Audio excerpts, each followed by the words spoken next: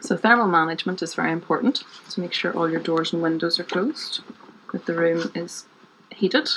I'm going to dry the baby, including the back. Remove the wet towel. Wrap the baby up in a pre-warmed dry towel, leaving the chest exposed so as I can assess. The baby has a large surface area on the head, so we're going to cover that with a hat. And while I was doing that, I was assessing the colour. Baby is pale, What's the baby's heart rate? slow. Is the baby breathing?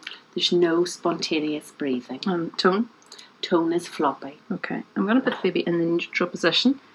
The baby's head naturally sits with the chin on the chest because of the large occiput. So neutral position is with the face lying parallel with the surface the baby's lying on.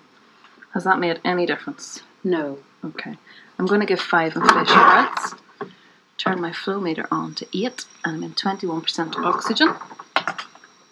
I'm going to size my mask by putting it on the dip of the chin, rolling it up over the nose and mouth, making sure it's not over the orbits of the eyes or down below the chin.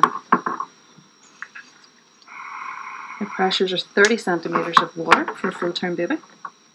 I'm going to hold the mask on in a C3 position, so finger and thumb in a C up at the top, and the three fingers along the angle of the jaw. Push down to get a good seal. Check my head position and give my five inflation breaths. So these are two to three seconds long.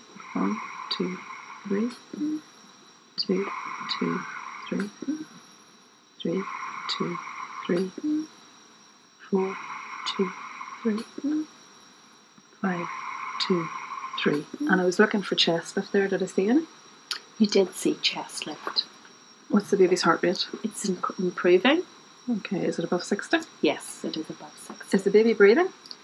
Uh, it's not breathing. Okay, what's the tone like? The tone remains floppy. I'm going to give 30 seconds of ventilation breaths. And it's just to breathe for the baby.